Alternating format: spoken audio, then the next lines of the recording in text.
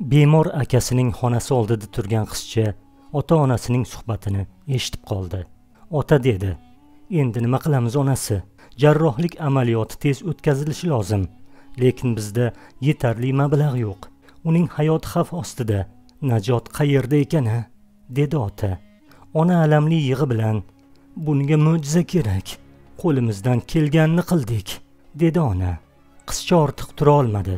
Yugurib borib xonasiga kirdi. Pul to'playdigan qutichasini ochdi. Undan bir dollar to'rt sent mablag' chiqdi. Uning miqdoriga ishonch hosil qilish uchun uch marta qayta sanadi.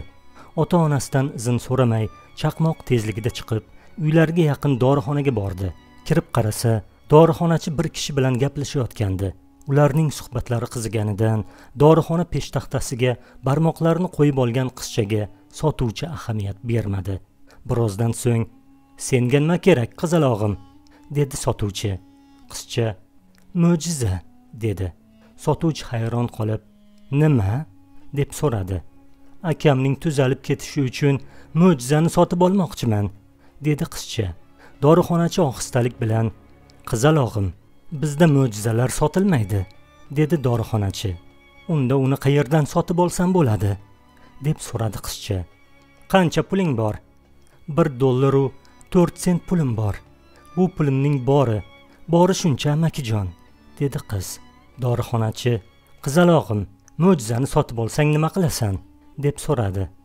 Akamning unga ehtiyoji bor. U siz tuzalmas ekan dedi qizcha. Dorixonachi gap orasida ota onasidan eshitganlarini akasi o'lishi mumkinligini uyining qayerdaligini bilib oldi. U kishi unga qo'lini uzatib pulingni bergin dedi. U jajji qo'lchalarini cho'zib amakining kaftiga mo'jizaning pulini qo'ydi. Amaki uning qo'lidan tutib men bilan yur dedi. Qizcha mo'jiza sotiladigan boshqa dorixonaga borsak kerak deb o'yladi. Lekin ular to'g'ri qizchaning uyiga kelishdi. U kishi uning ota onasi bilan tanishdi. Amaki yetuk miya jarrohi ekan holatni o'rganib bolakayni o'z klinikasiga olib borib amaliyot o'tkazdi. Amaliyot muvaffaqiyatli o'tdi. Oradan vaqt o'tib bolakay uyga qaytdi. Ona eriga qarab allohimga shukur bu doktorni bizga ayni kerakli damda o'zi yubordi. Bu mo'jiza dedi ona. Buni eshitgan qizcha oyijon men o'zimdagi bor pulimni berdim. U kishidan mo'jizani sotib oldim dedi. Ona qizaloqni quchoqlab mo'jiza tushunchasini shifoni olloh berishini bandalar unga olib boradigan sabablarni bajarish kerakligini anglatdi. Va qizim mo'jizaning narxi sen akangni yaxshi ko'rganing unga shifo so'rab duolar qilganing va o'zingda bor bo'lgan boyliging to'plagan mablag'ingni berganingdir dedi ona. Qizchani yoniga olib ikkovlari shukr namozini o'qidilar.